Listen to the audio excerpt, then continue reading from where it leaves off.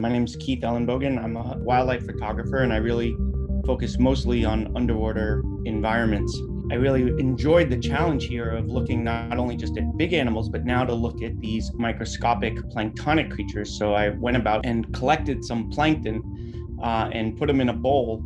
And here you can see a, a concentrated amount of plankton that I sampled. And then I took a little bit of this and uh, photographed it under uh, a light microscope using dark field. And what I really enjoyed about this is it's really the same skills I have a lot of patience, a lot of looking around, a lot of like finding the right animal, um, and then photography. And this is what's called an Evadne um, which I looked up is it's cool little. I sort of like them because they have this cone head kind of shape, and you can see that uh, what is different a little bit for a microscope in some ways, depth of field, which in photography is always omnipresent, but it, it's much more present in the microscope. And here, one on the top has sort of translucent, and they just floated on the surface. They're really gorgeous, and you can see inside it. You can see it's pregnant with a number of them, and they bloom really fast as I was learning about them. And you can see just they're stacked one right on top of the other under a slide within a smallest drop of water. I just I really love the the feeling of this of this image and and the discovery of this animal.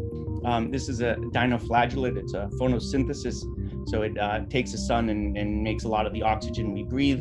They're really spectacular. They're uh, very present in the in the waters there. They're the most common one that I that I saw, um, and I liked it because uh, in this one you know, it sort of moved a little bit and I liked a little bit of the motion that happened. And I, I stacked the images. I took a couple of these and brought them together so that, uh, unlike the other one, that the depth of field was sort of merged together. And I liked playing with this. I, really found myself enjoying uh, looking under a microscope in a way that I've, I've never really done.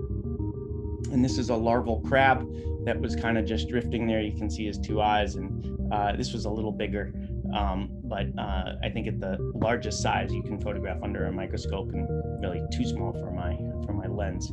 Um, but I, I, I, very much enjoyed this process and the, the, discovering an array of different animals. And I was surprised how much time it took. A lot of time, just like my photography. It's a whole amount of looking through each slide. Was like a, a journey of a day of, of diving. It was really a wonderful experience. Uh, and then I decided to try and collaborate with a, a friend to go even smaller, and this is uh, using a scanning electron microscope. Uh, this is a diatom, so you can see this is uh, extremely uh, tiny here.